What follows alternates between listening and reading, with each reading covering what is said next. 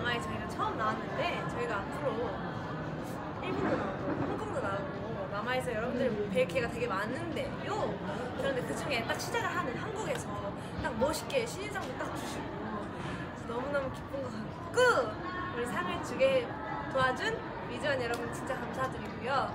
항상 우리 곁에서 우리 도와주고 계신 부모님들, 스태프분들 진짜 다 감사하지 않은 분들이 없는 것 같아요. 앞으로도 더 열심히 해서 발전하는 모습 보여드리겠습니다. 화이팅! 감사합니다! 화이팅! 생각지도 못했는데 처음에 저희가 다 그 저희 줄 몰랐잖아요. 그 소리를 못 듣고 있다가 뒤에 듣고는 깜짝 놀라서 나갔는데 우리 은비 언니는 또 눈물을 한 바가지로 바가지. 한 바가지 모두 위주원 여러분들 수 같고 너무너무 감사드리고 앞으로도 더 열심히 하는 아이즈원 될 테니까요. 저희 오래오래 봐요. 사랑해요. 네, 위즈원 여러분 너무너무 진심으로 감사드립니다. 사실 이렇게 큰 상을 받을지 몰랐는데 큰 상을 주셔서 감동받아서 감동의 눈물이 흐를 것 같아요.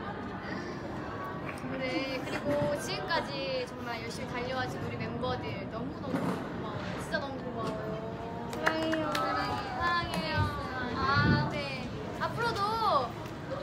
많은 무대가 남았으니까 기대 많이 해주시고 많이 많이 응원해주세요. 감사합니다. 감사합니다. 네, 이렇게 마마 10주년에 저희가 시인상을 받게 돼서 너무너무 영광이고요. 제가 너무 감사한 분들이 너무 많은 거예요.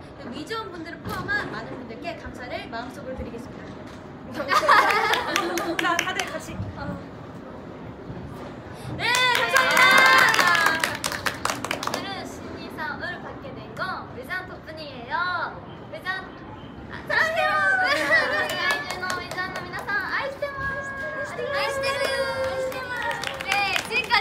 Ainda